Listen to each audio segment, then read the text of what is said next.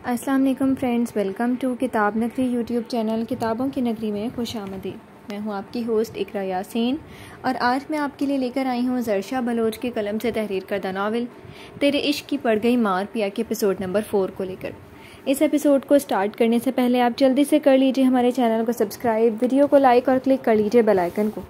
अब जल्दी से स्टार्ट करते हैं आज के एपिसोड वो आज बहुत थकन महसूस कर रहा था, यूँ लग रहा था जैसे सदियों की मुसाफत तय कर आया था। कितना आसान था कहना कि ताल्लुक़ नहीं है, मगर फिर भी उन्हीं की वजह से बेसकून रहना भी खासा अजियतनाक था।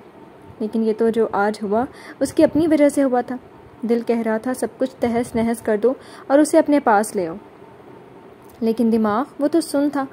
आँखें जल रही थी खुद के उजड़ने पर मातम कना थी। लेकिन मगर जब तो फिर भी उस पर लाजिम था। कमरे का दरवाज़ा खोलकर अंदर दाखिल हुआ तो कुछ गैर मामूली सा उसे लगा, लेकिन इग्नोर करते कनपट्टियाँ दबाते वॉशरूम फ्रेश होने चला गया।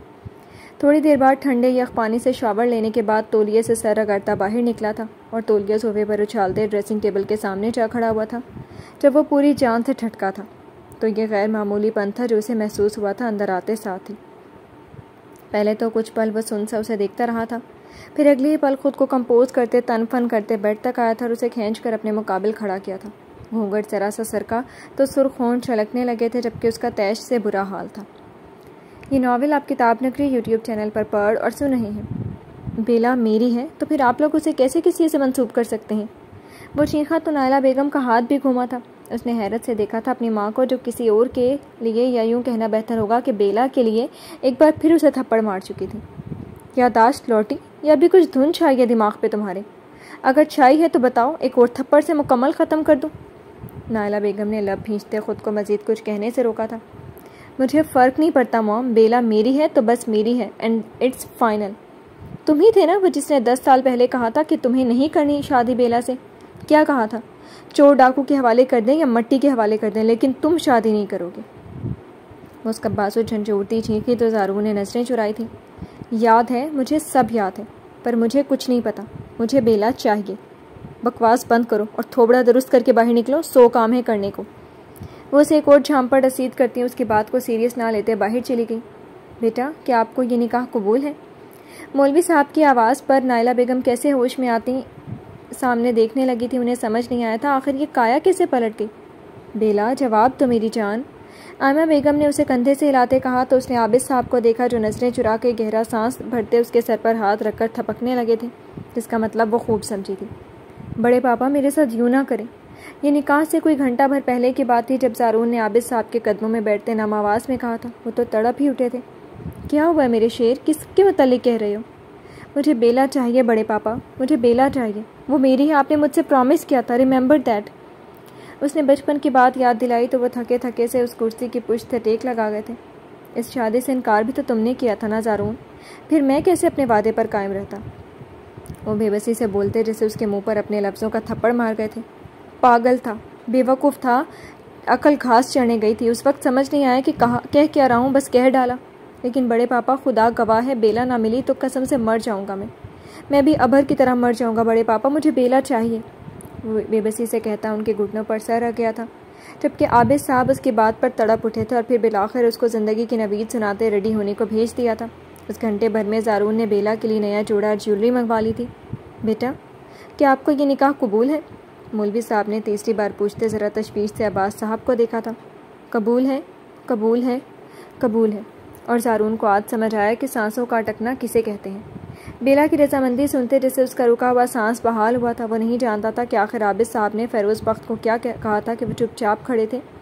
जबकि आहद बख्त तो यहाँ था ही नहीं। बेला के बरक सारून ने तो पलक झपकती मंजूरी दे डाली थी। सब उस तावले दुल्हे को देकर हंस पड़े थे। खुद मौलवी साहब भी मुस्कुराने लगे थे। निकाह होते ही बेला की जिद पर उसे कमरे में ले जाया गया था। जबकि सारून खुशपाश था, सबसे मिलकर मुबारकबाद वसूल कर रहा था। जबकि कोई और भी था, वहाँ जो अपना प्लान फ्लॉप हो जाने पर गीली लकड़ी की तरह सुलग रहा था।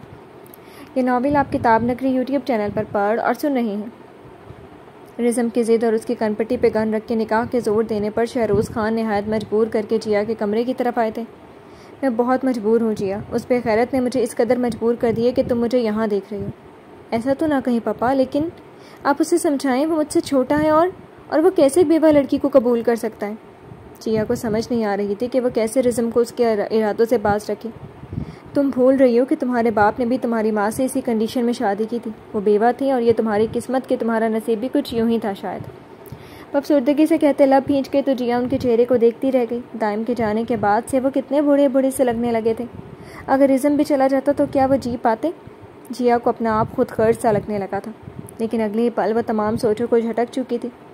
तुम्हारी माँ ने अपनी टूटती सांसों में मुझसे तुम्हारी और नोमी की ज़िम्मेदारी सौंपी थी। जिया मुझे मालूम है तुम रिज़म को ऐसा नहीं सोचती, लेकिन रिज़म को कबूल कर लो जिया। ये मत समझना कि तुम पे ज़ोर ज़बरदस्ती कर रहा हूँ, लेकिन मेरी मजबूरी है। आज नहीं तो कल तुम्हें कहीं ना कहीं तो बयाना ही है। मैंने तो वो रिज़म ही क्यों ना हो? जो बिना किसी दबाव के तुमसे शादी करने को तैयार है। मुझे रोज़े पैसे तुम्हारी माँ के सामने सुरखुरु होना है, जो इस सूरत मुमकिन है कि इसके दोनों बच्चे खुश रहें, जिया। निकाह के लिए मान जाओ। वो बेबसी से कहता, आखिर में मलते जी उबे तो जिया, उनके घुटनों पर सर रखे, बुरी तरह रोती चली गई थी। रिजम ने अपना कहा, सच किया था। थोड़ी ही देर बाद नमाज़ जुम्मा के बाद उनका निकाह हो गया था। जिया को लगा था कि जैसे सब उस पर तंज की निकाह डाल रहे थे खुद से दो साल छोटे लड़के से शादी कर ली। मुठियाँ भींचे व जब्त के आखिरी हद पर थी। ये नावल आप किताब नगरी यूट्यूब चैनल पर पढ़ और सुन रहे हैं।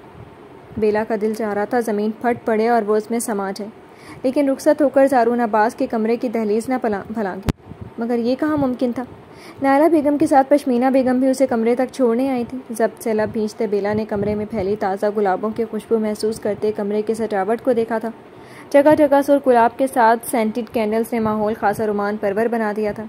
पश्मीना बेगम उसे शोहर के हकूक़ फ़राइज से आगाह करती, उसका माथा चूम के उठ गई थी, जबकि नायला बेगम पहले ही कमरे से जा चुकी थी। कमरे के माहौल को देखते बेला की आँखें दगा दे गई थी। उसे नफरत सी हो रही थी जारून अब्बास से। वह इंतहाई तैश के आला में उठी और ड्रेसिंग के पास रुकते हाथों में पहनी अंगूठियाँ नोच नोच कर उतारी थी। उसने अभी दुपट्टे की एक दो पेन सी उतारी थी जब दरवाज़ा खुला था और जारून मसरूर से अंदर दाखिल हुआ था। पता का एहसास उसके चेहरे को एक अलग ही रौनक बख्श रहा था। जही नसीब बीवी, तुम मेरी तो के एन मुताबिक वाकई में यहीं मिली हो जहाँ मैंने तस्वुर किया था।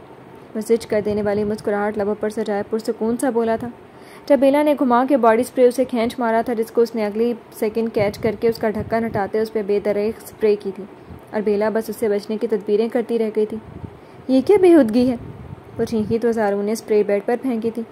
मुझे पसंद है कि तुम मेरे रंग में रंगी जाओ। तुमसे मेरी खुशबू आए, बस मेरी रहो। मेरे लिए सजो, मुझे चाहो। मुझे सोचो, बस मुझे। उसको करीब करते गर्दन पर झुके गहरे सांस लेते वह शिद्दत से बोला, जबकि बेला उसकी हरकत पर सुर्ख पड़ गई। दूर रहो जारून।